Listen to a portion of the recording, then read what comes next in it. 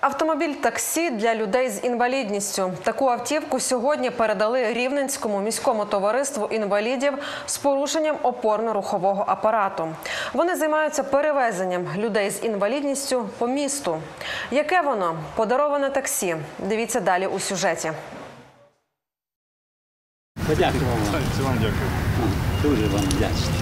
Хай допомагає, користуйтесь. Вона багатьом людям. Такий автомобіль передали Рівненському міському товариству інвалідів з порушенням опорно-рухового апарату.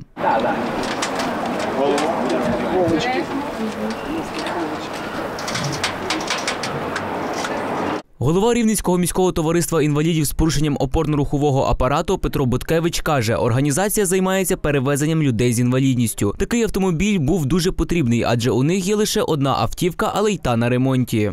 Ми перевозимо в межах Рівного, перевозимо найбільше в реабілітаційні центри, у лікарні, в інваспорт. Ну і куди людина замовить, не, не, не важливо куди. Вона хоче кудись поїхати, ми, вона телефонує до нас і ми виконуємо це замовлення.